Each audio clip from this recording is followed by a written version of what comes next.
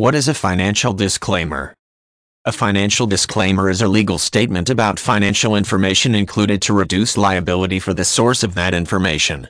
Disclaimers are used in a variety of settings to address concerns about legal liability for financial information and associated materials. Finance websites often include such disclaimers, and they may also be used in other publications like magazines and books. In essence, the disclaimer states that the party providing information is not legally responsible for how it is used.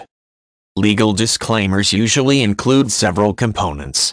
In the case of a financial disclaimer, the statement clearly indicates that the material provided is for research and information purposes only, and does not constitute advice or recommendations. Any products referenced or linked in the material are not endorsed by the author and people who choose to pursue particular products or services cannot hold the author liable for any losses or other problems experienced. The financial disclaimer says it is not a replacement for advice from an accountant or personal finance advisor.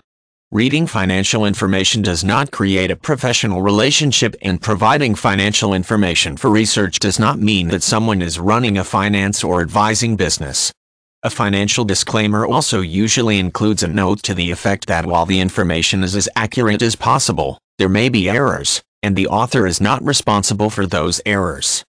The purpose of a financial disclaimer is to disavow any responsibility for the consequences of using material provided.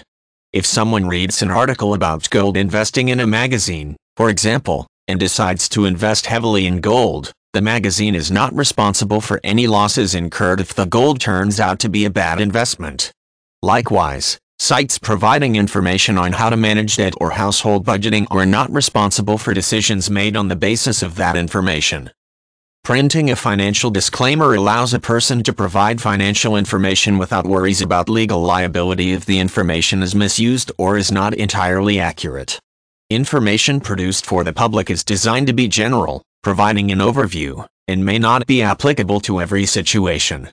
People providing financial information for general research purposes cannot prevent people from applying that information inappropriately or failing to read and comprehend the information, but they can issue a disclaimer to warn people that they cannot be held liable for how the information is used.